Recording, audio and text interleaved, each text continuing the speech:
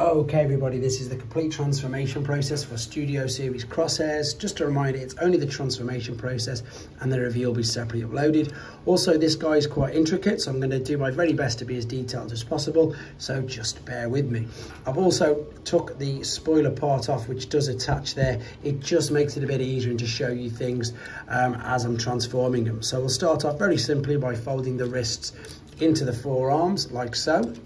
And then what we're going to do, we're going to turn our attention to the leg. So what we're going to do, we're going to basically fold the leg over on itself. So you've got this grey dark roll here, roll this back, turn it over and just slot that into position. So roll this back, rotate it, and that'll fit into position there. You've then got a double knee bend. So if you fold this over, it just all fits nice and snug like so. This is pretty much going to be the front of the car. So if we leave that like that for now, then what we'll do, if we turn our attention to the back, take this whole kibble part here, and when you've got clearance, so if these are out of the way, what you need to do is just open up the front and then rotate this all the way, oh, it's come off. It doesn't matter if it's come off, I'm gonna push it back in so you can see with it attached. Once these are out of the way, you can rotate this all the way around and up like so. So you could take it off, but I wanted to show you it with it attached just because I suppose that's more of a true transformation. Then we're going to fold the skirts over. But as we do this, what we're looking to do is sort out the midsection here. So this is going to fold back a little bit over on itself like this. So see how I've folded it and pushed it back? Like so, that was the waist. So I've folded it and pushed it back and it means that these are going to line up much better. You can now, if you want to, you can literally go straight to taking the roof, extending this right out like so and we can come over to the front. Now you can see here we've got two huge green tabs and on the underside there, I don't know if you can even make it out, there is a, it's a cutout, but it's translucent plastic. So I'm gonna bring this right up and over. I'm gonna pop these in there like so. You'll tell if it's in because you'll feel it sort of fit into position. Then we can take the skirts and we're looking to, of course, just line this up. It is like a huge it's not like really a shell former. I don't know what to call it. It's a bit like it. It just sort of, it's his huge trench coat, obviously, so it just encases it. See, we've got the translucent tabs there just at the top. So let's just line this up and this one.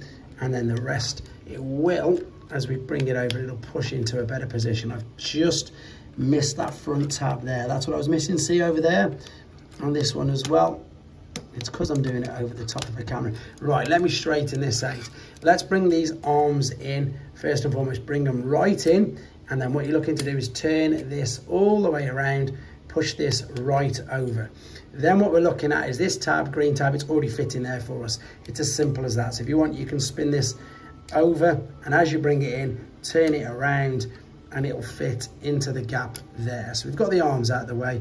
I think the midsection just needs another little push in, to be honest. That's why this has come out. Let's have another look.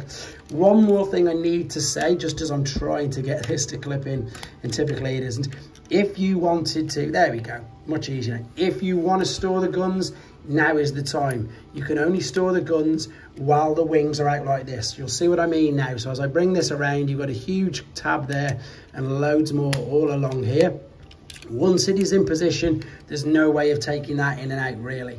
So as I say, make your decision now if you want them in. If you don't want them in, it's absolutely fine. But as soon as you connect it up like this, you'll see here, once it's all in, you can't reach underneath and effectively pop it in. So I say that's your decision. With the biceps, now again, just line them tabs up there like so.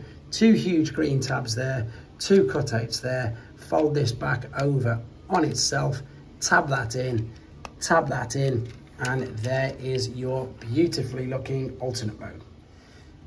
Okay then, let's take him back. Also, obviously I forgot to pop that on, so if you did want it on, you just attach it as well. Anyway, right, what we need to do then is separate this back portion first and foremost, lift that up like that so it's out of the way. Then it's a case of very carefully taking the side skirts, I said carefully, a little more carefully than that maybe, and lifting these up out of the way. There's the gun I stored. I'm going to take it out just for now.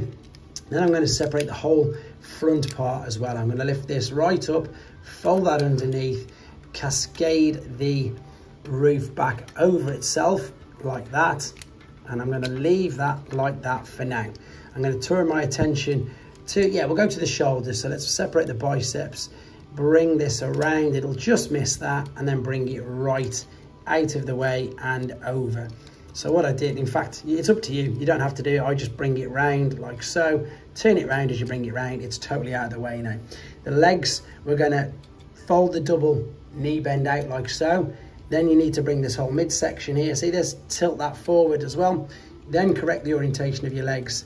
See this grey dial here? Once you bring the foot around, bring that around as well. There you go. And then turn the foot to face the front.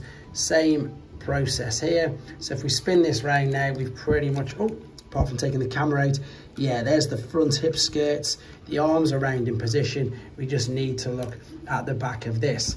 So while this is up and out of the way, rotate these side parts of the car over like so.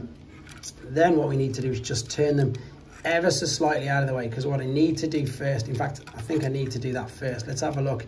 I need to rotate, yep, the front of the car all the way around like so.